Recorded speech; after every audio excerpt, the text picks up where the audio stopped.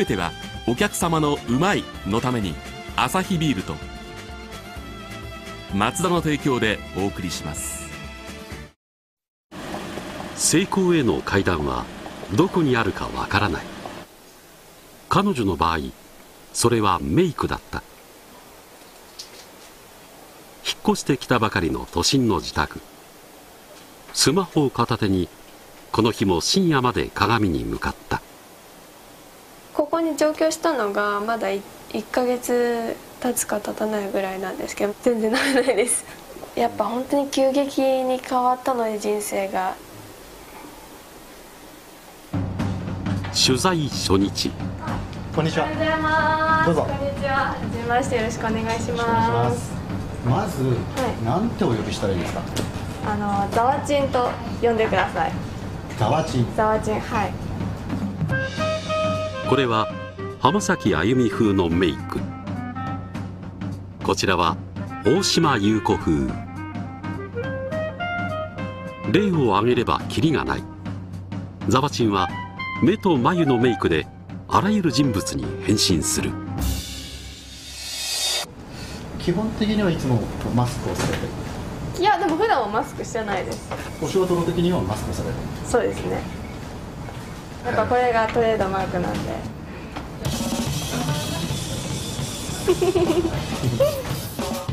人呼んでモノマネメイク。頑張れば誰でもできる。そこがミソ。世の女性は飛びついた。今年彼女が出したハウトゥー本はすでに14万部を売り上げている。メイクの新しい分野を彼女は作ってしまった。りはいそうですね。憧れの人に近づけるっていうのもやっぱり最大の魅力じゃないですか、私だともう30いくつなんていうのもまだまだ頑張れるんじゃないかって思わせてもらえるのが。今21歳。2年前まではごく普通の女の子だった。ここでいいのかな？ここでいいの？突然浴びたスポットライトに少し戸惑っている緊張しますめっちゃ。だからなんかその前に自分ここにいていいのかなっていう。結構今不眠症なんですよ。何かしないと嫌だっていう不安は期待を外せない不安。不安だから走ってしまう。だから今の方に必死なので全然先がまだ見えないですね。もう常に本気ですね。本気。それが彼女のキーワード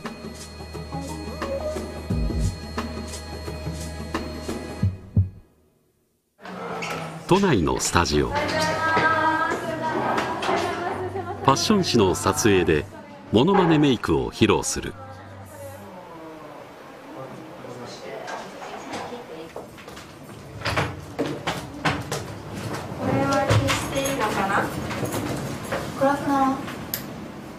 到着するなり鏡についていた照明を消してしまったごめんなさい、ここ僕が好きなのは。え違う違う私が消したあ消したんですどうぞすいません。私からちょっともう一個こうつけてもらって。こっちがあのタングステンなんですけど、あー色が飛ぶね。白もいい光が当たる具合によって影ができちゃうんですよ。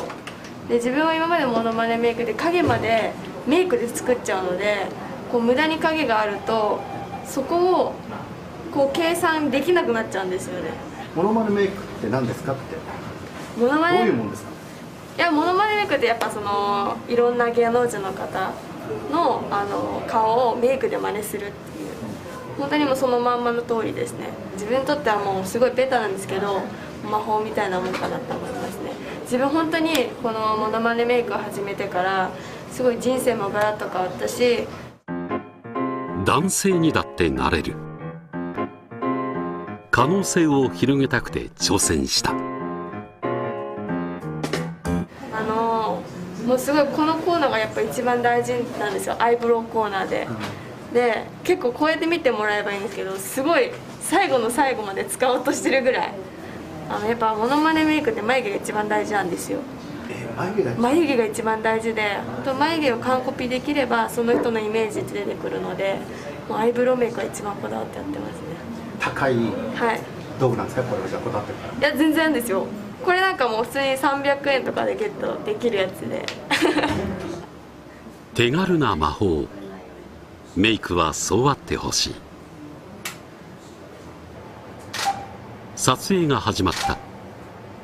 誰に扮しているかは説明無用だろう。エキゾチックな大きな目は本人と見まごうばかりだ。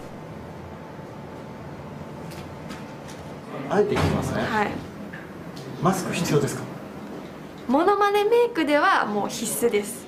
鼻から下って正直メイクじゃ変えられないんですけどそうなんですよ。もう影をつけるだけであって結局形は変えられないんですよ。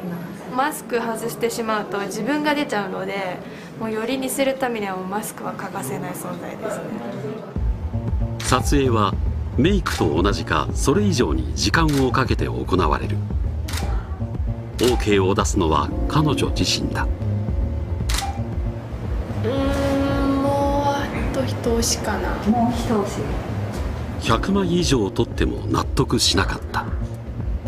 ちょうどトリミング的には月祭りが切れるところつけまつりが切れるところか。あ分かりました。じゃあちょっともう多い時で。ですね200以上とかフレームで言ったら1ミリ2ミリとかあの結局あの光を使ったトリックアートなんですよ。追求は続いた。モノマネメイクは誰にでもできる。だから自分がやるときは妥協できない。これが OK カット。141枚の中の1枚でも確かになんだかんだ今までのものは全部なんだかんだできてたんでまあそのそれを忘れずにやってればなんだかんだできると思うから頑張っちゃいました。よ本気って？本気ですか？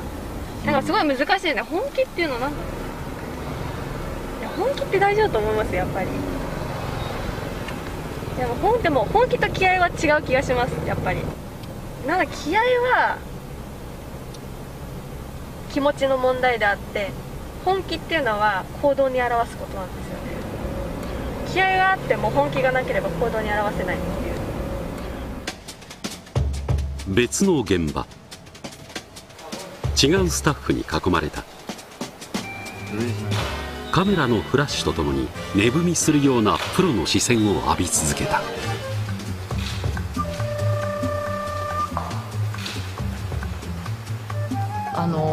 んな時代にデジタルでちょっと直しちゃってなんて言えばできちゃうことかもしれないのにそれをせずにガチでやってるっていうそのガチさが一番すごいなと思います。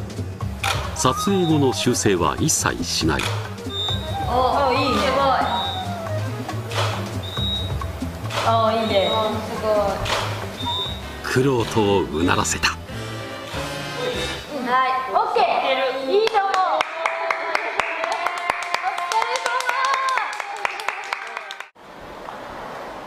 いわば時の人。大好きなショッピングに行けないのが目下の悩み。セールやってますね。入りたくなっちゃいますね。ほらすごいシースルー多くないですか？そうだシースルー大好きなんで。ちょっと期間ありますよね。言ったら嬉しいですかめっちゃ嬉しいですけど。いいですか？やったー！見る見る見る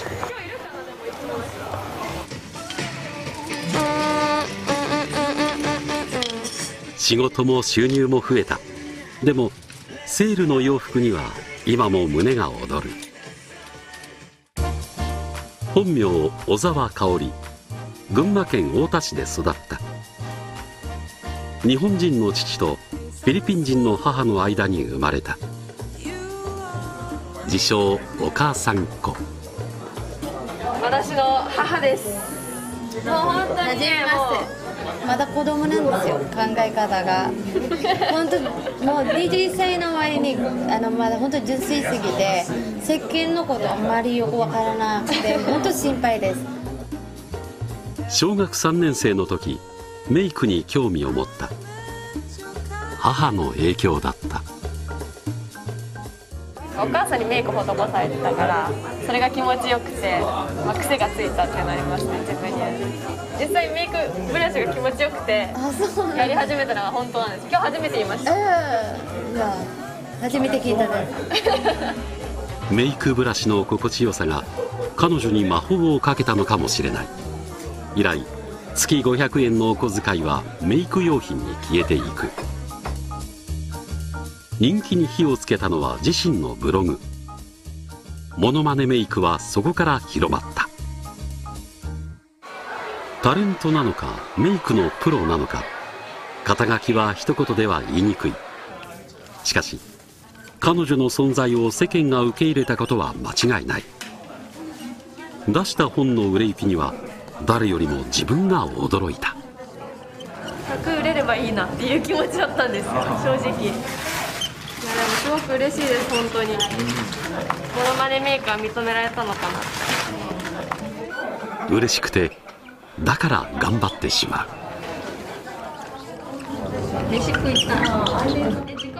手を休めれば食べられるのにそれができない。もっと綺麗に。女性は皆そう願う。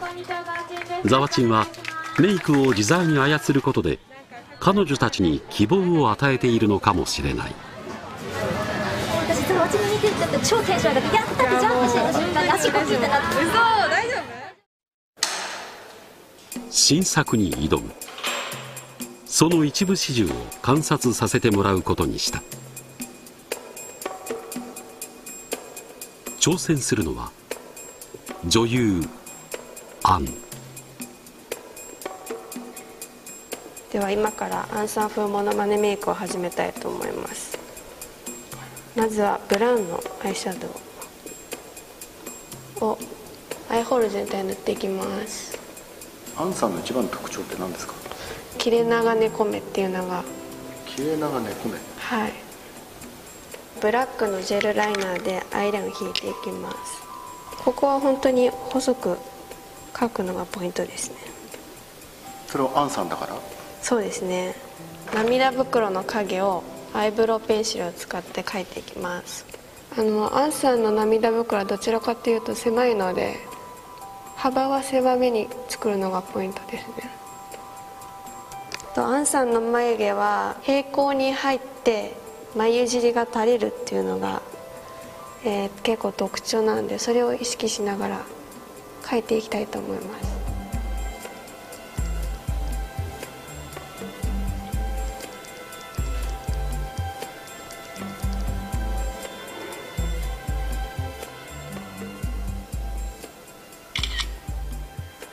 通りのメイクが済むといつも通り写真撮影。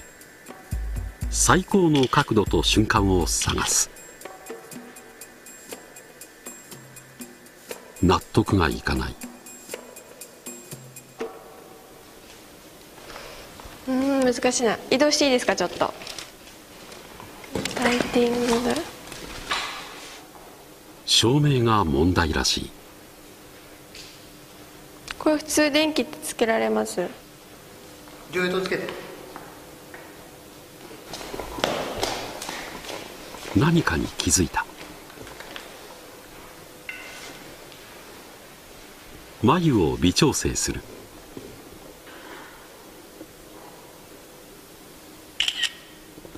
今度はどうか。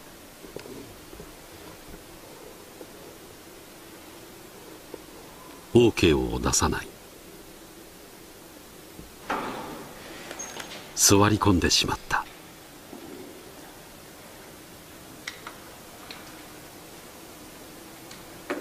似せれ似てるっちゃ似てるんだけど。これは大体何割ぐらいの完成7080ですかね。これねダメだ。その点数では OK にできない。時刻は深夜2時を回っていた。久々に一発でできなかった。悔しいなこれは。時間切れ。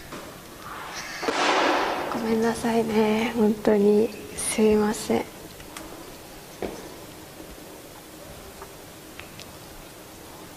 申し訳ないです。本当に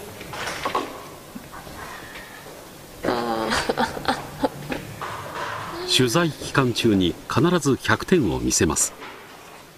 彼女はそう約束した。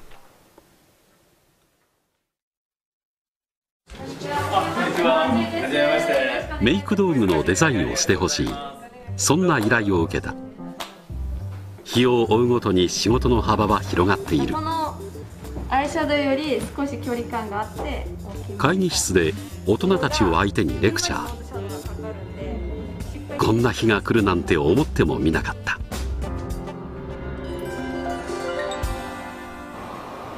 地元の群馬に帰る。車内ではスマホに夢中。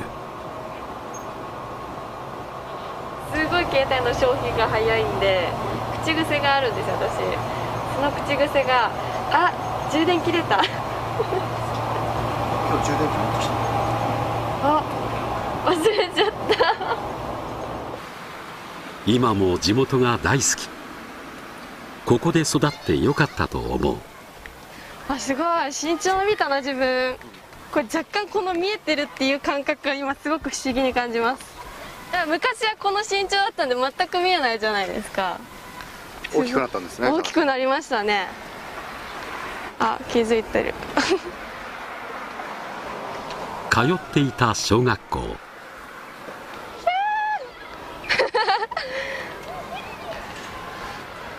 昼休み？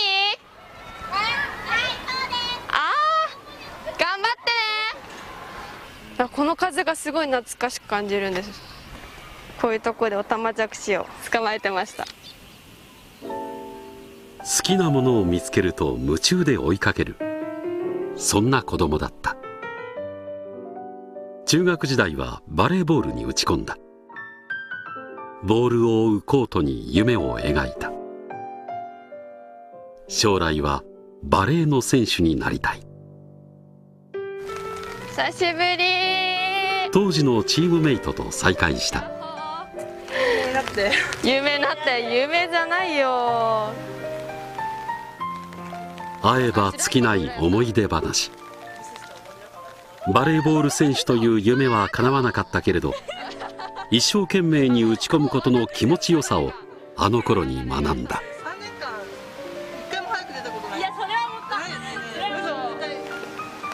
たった半日の里帰り。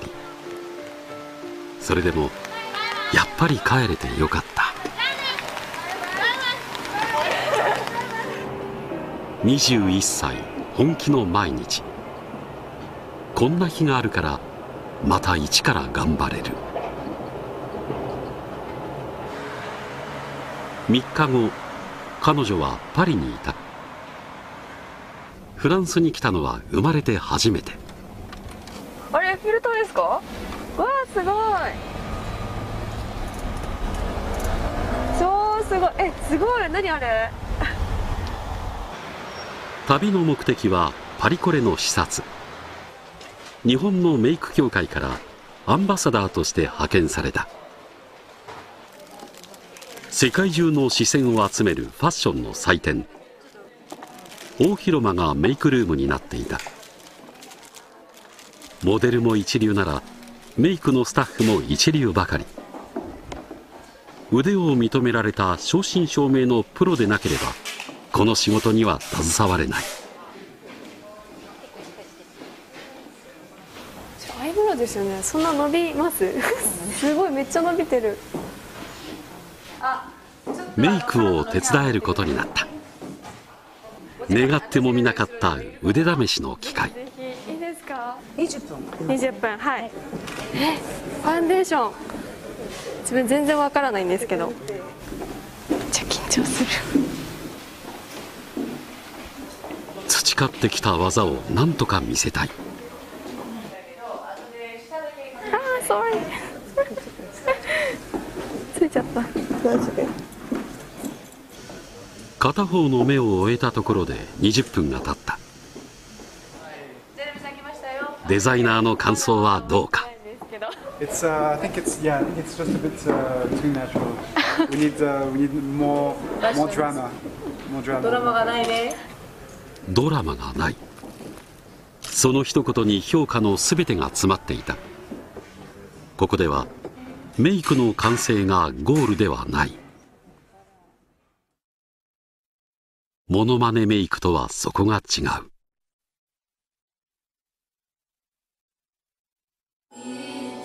本番。ステージに立ったモデルたちは際立つ独特の美を宿していた。メイクはショーの世界観の始まりだった。メイクの魔法。自分がこれまで知らなかった魔法を彼女はこの日目の当たりにした。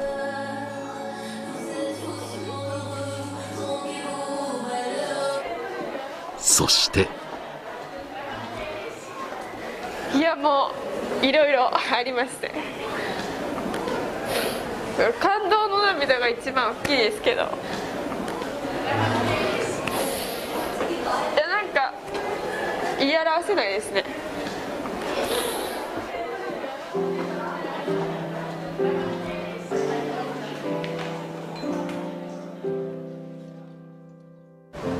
東京。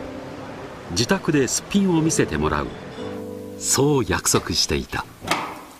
ああこんにちは。お願いします。どうぞどうぞ。自宅。彼女はノーメイクで待っていた。ちょっと散らかってますがいつもここに座ってメイクしてます。ここで。マスクをしている自分とはい。マスクをしていない自分。はい何が一番違いますか？何が一番違う？うーん難しいなそこ。普段のマスクしてる時はモノマネメイクしてる状態なんですよ。けどマスクをしてない状態はもうまさに普段の自分。普段の自分を見せてほしい。そう頼むと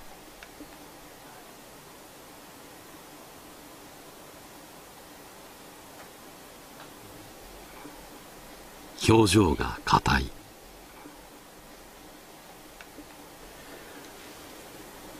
と僕らとははい。マスクで付き合ってましたしさっきお話ししてましたけど、はい。やっぱりちょっと撮るのはドキドキします。めっちゃ緊張してます。今もめっちゃ緊張してますよこれ。これがザワチンです。いつものザワチンです